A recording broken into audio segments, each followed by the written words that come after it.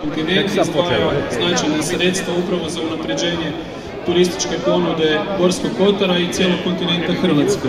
I upravo Gorski kotar i Vrbovsko ima ogroman potencijal u daljem rastu turističkog prometa i naravno svemu onome što može ponuditi, a vjerujte se na posao koji radim i ono što vidim na svijetu, današnji turisti traže ovakvu jednu, e, ja bih rekao, jedinstvenu, autohtonu, tradicionalnu manifestaciju, jedan doživljaj kroz koji će upoznati i način života okolnog stanovništva. Upravo tako jer ovo je manifestacija koja se diči i tradicijom, njeguje običaje, ima sjajnu hranu, sjajne proizvoda, ali isto tako i fenomenalnu glazbu. Hvala vam najljepša što ste došli na našu 20.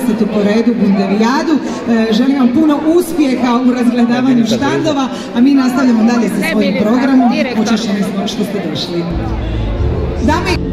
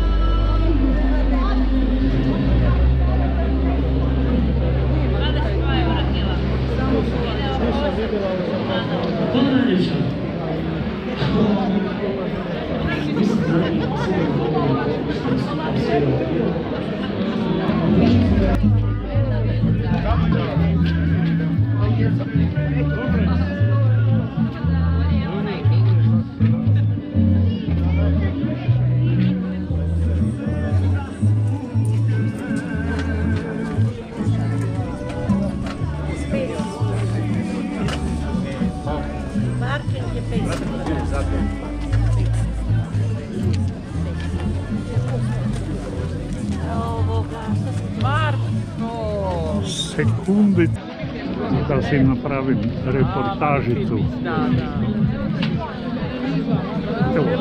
Ok, bok bok.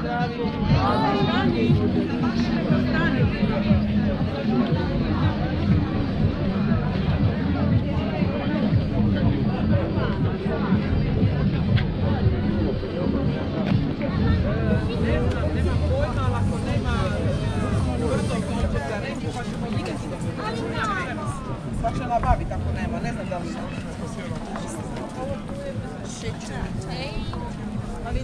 Ovo kopače danas ima danas.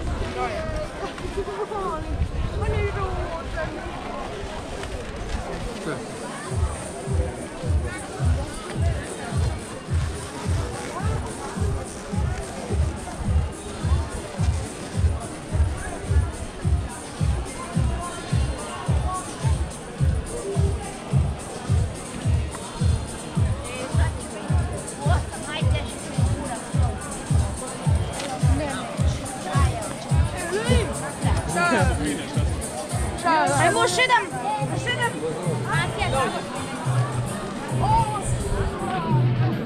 7 i 200. A malutko.